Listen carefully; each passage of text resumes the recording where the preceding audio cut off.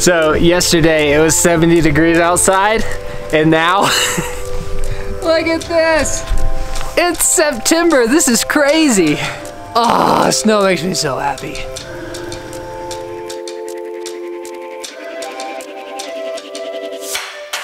We're Kara and Nate, and we've spent the last four years traveling to 100 countries. But 2020 brought us back to our home country of the United States of America, where we bought a converted Sprinter van and transitioned from living out of suitcases to full-time van life. If you missed our last video, Nate just finished mountain biking 570 miles across Colorado, which turned out to be, without a doubt, the hardest physical challenge of his life. I did it! Oh, it's, it's heavy. And after reaching the finish line in Durango, we drove back to our friend's house in Leadville to spend the better part of a week recuperating from that intense adventure. This Colorado trail trip really put the van to the test. Kara took it down some super rough dirt roads. We spent most of the time camping off the grid, and we slept three full-size adults in a van that's built for two people. After arriving here in Leadville, we pretty much moved into our friend's bed and breakfast, and we've just been ignoring the fact that our van is a complete wreck. Just look at this. We've at least put all of our clothes into a bag now, minus all of the shoes and bike stuff. This area hasn't been used in days. I'm embarrassed.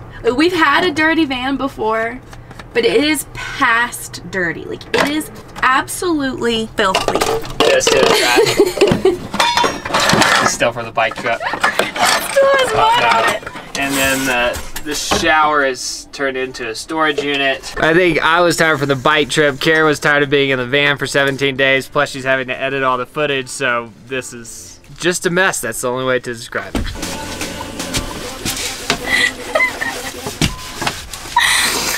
So we were planning on just taking the week off to knock all of this stuff out, but we thought it would be good to show more of a complete picture of van life instead of just the fun adventures. Why won't it come off? Plus, we have some super fun upgrades that we're making to the van this week that we wanted to share too. Good luck!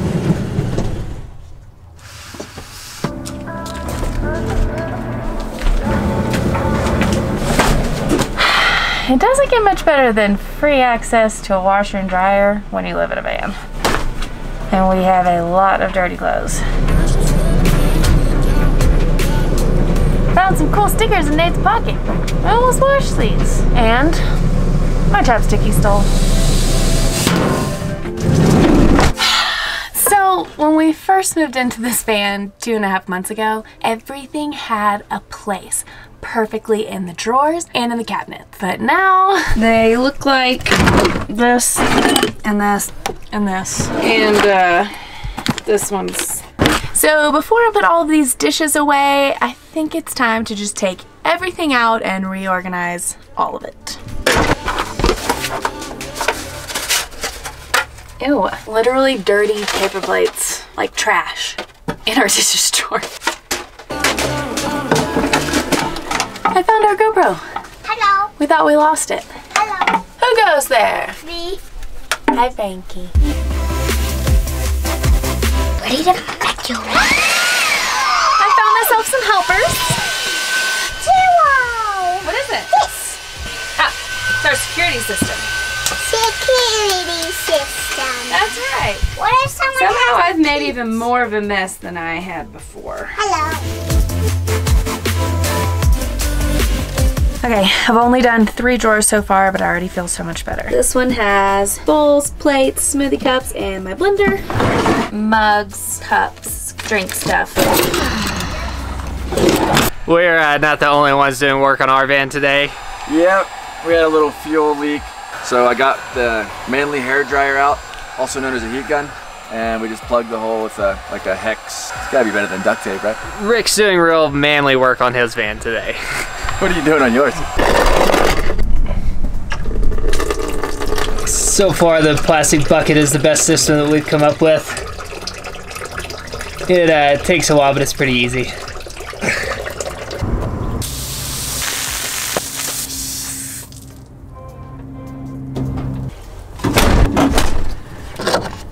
This is like the worst design on the Sprinter van. You have to fill this up, but there's no way of knowing when it's full. And the liquid is super corrosive. Like it's just a recipe for disaster. Oh, I think I hear it. Wow. I guess we really needed that. Huh. The first week we were on the road, I hit a tree and this thing bent all the way back and hasn't worked ever since. So if the weBoost is working, this this light right here should be on. I'm going with the unplug it and plug it back in strategy. Huh. Set your multimeter to volts DC. You shouldn't have to have it. Rick and I fix things very similarly. It always starts with watching a video on YouTube and then. Yeah. So it is getting power. So I think that there's a chance that I may have figured this out. I've been staring at this thing for 30 minutes now and I think I may have just fixed the weBoost. Replacement. Go in there. All right, the new fuse is in. Now I hook it back to the fuse box, plug it in, and we see if it works. Okay, the moment of truth. The real moment of Okay, if the light turns green when I plug this cord in, I fixed it. Is it green? I can't see it. Oh, oh I was sure I'd fixed it.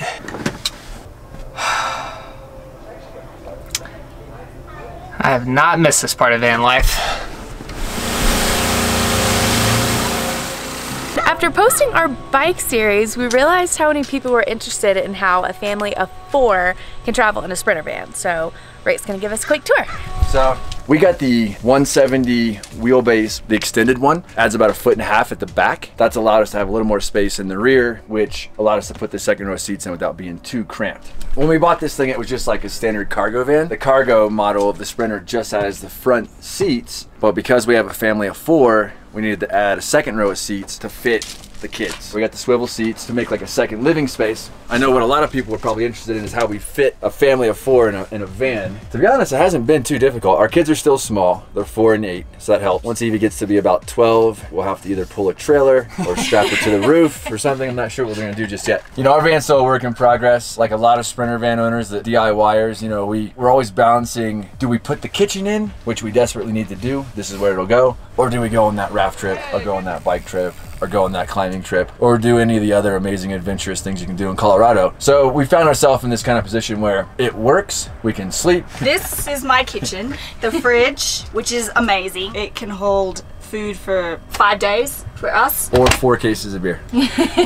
And I have my camp kitchen, so this is like my plates and dishes and knives and full Fresh food, my washing up sink, and anything else that when we're on jolty roads, I just put in here because it actually seems to stay pretty Hasn't stable. fallen down before. But cooking in here right now is kind of tricky, so that's why we're lucky it's summer. I just use our car camping stove, which is like our Coleman two burner, and I just pull this out. So easy. but you don't actually cook in the van. Rarely, like you guys saw me, I cook maybe in the garage, but I like walk outside to cook. In the garage. the- This is upstairs, downstairs, in the garage. this is our um, informal lounge.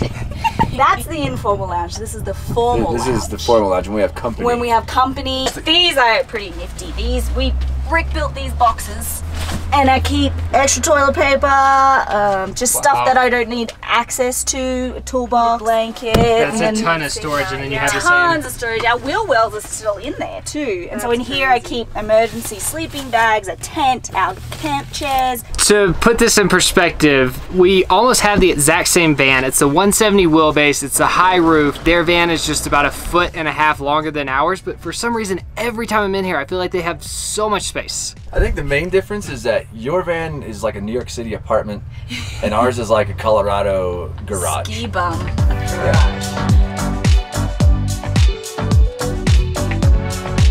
Okay. Bottom bed. 350 for the top bed, and then for the bottom bed, There you go. Is that it? Time. That's it. Time, time, time, time. Oh, the bottom bed was so much faster. So this is where we sleep, and this is where I sleep on this side. And sometimes and when it's super crooked, we either put our hand on this end or this end. This our clothes are up there. When I wake and we have to step on the fridge to get up there, and they're hanging on the carabiners. Oh. This is my sock and undies. This and is my these are my shirts and pants. These are my shirts and pants. And mom and dad sleep up here. And they have a fan and they turn it on every yeah, night. This is how they turn it on. They press this button.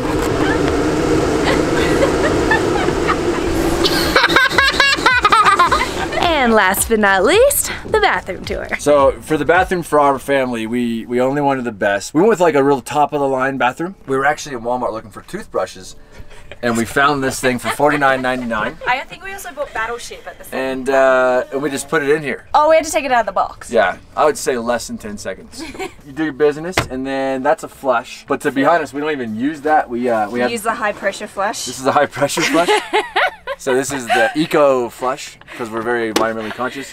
You just do one of those. Squirt that in there. All right, last question. Where is everybody else when you're, you know? Oh, this is the best part about this toilet. So, it's a family affair. We have conversations. Some we play board games sometimes. That doubles as a chair. You basically just sit there and do your business and wave hi to people sleeping up here, even Frankie playing down here. As you can tell, the kitchen and the bathroom are almost the same thing. Kitchen, bathroom, more kitchen. Well, thank you for the van tour. You're welcome. Bye. Bye. Welcome. Good job, Jules. So, up to this point, we've been pretty content with everything in the van, but after caravanning with Rick and Bec for 17 days down the Colorado Trail, we realized there were a few upgrades that we wanted to make. The biggest one being a Heater. we would all get in this van on those cold mountain nights and just snuggle up with each other in this warm van. And then we'd have to get out in the freezing cold and go back to our van. It was that, and last week it snowed 8 inches in September. This is also why we're getting a heater. We just want the, the flexibility to not have to run away from this. We're also super excited to install an alternator charger, which essentially lets the batteries that are in the back of the van charge while we drive. We usually end up having to find a place to plug in, which means paying for a campground for the night when realistically there's plenty of good free camping spots in most places. So it'd be super nice just to be able to get in the van, start up the car, go for a little drive, and let everything charge back up. Last but not least, this is one of those things that's more of a preference than an actual need, but we realized just how clean an in-dash backup camera looks. Instead of this thing right here that's just kind of an eyesore on the dashboard and only works about 50% of the time.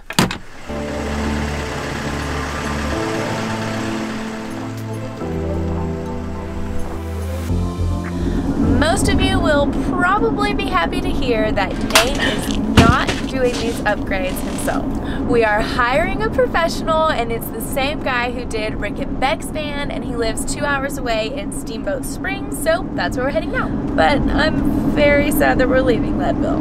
When we first came here, we thought we were just staying for the weekend. It has now been six weeks and it really started to feel like home. We'll be back. I'm just sad I'm gonna lose this acclimation. My body's used to living at 10,000 feet right now. I feel like that's a rare thing to happen in life.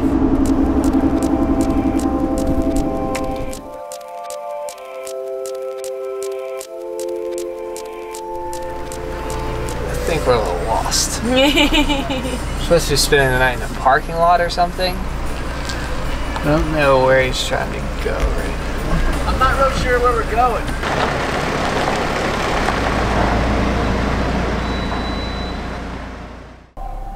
So we were planning on putting the van upgrades in this video, but the guys ended up uncovering some pretty serious safety issues So this wire is going to start on fire before that's going to ever blow. and things got a little more interesting than we were expecting.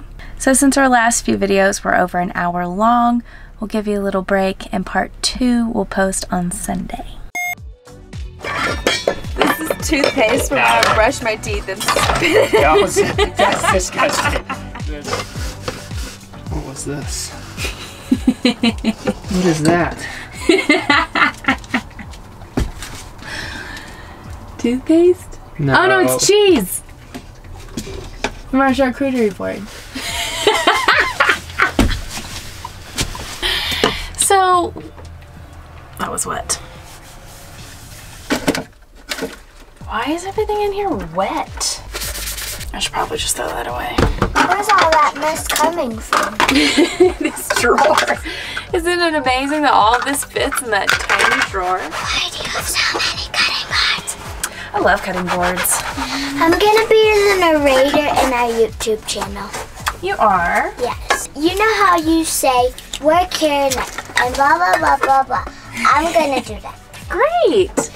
Because my mom thinks I should do it. I she's can't too wait to see y'all's first video. She's too scared to talk to the camera. Really? Can I come in? Of course. Did she wash this spoon? Hello. Did you even wash it? There's literally vegetables still on the spoon. What the heck? They were supposed to clean it. He was supposed to clean it. I want to hop on the bed. Do it. Can you hop over the drawer or do you need to close it? I can hop over the drawer. Wow. This is the one you did the, your smoothie. That is how I make my smoothies. Yep. I'm sorry so much stuff is on the bed. Whoa. Is that on? Yeah. Oh, good. Yep. Is the cup that Kayla used for his smoothie. How do I look? Good. Tired? I look tired. Kinda. When you looked up, you were just. Yeah, on the team too. Well, that's not good. I am tired though. Kira is tired. Switchblade. How is she tired? I don't know why. Oh, hello. What are you doing? Me, Evie. Actually. So much fun. Which Old avocado in here. Ah, you guys without children don't, I feel like, I don't half normally find things like that. avocados in if you scrape the school brown box. off, there's still a meal there. Frankie would probably eat that. She would eat that.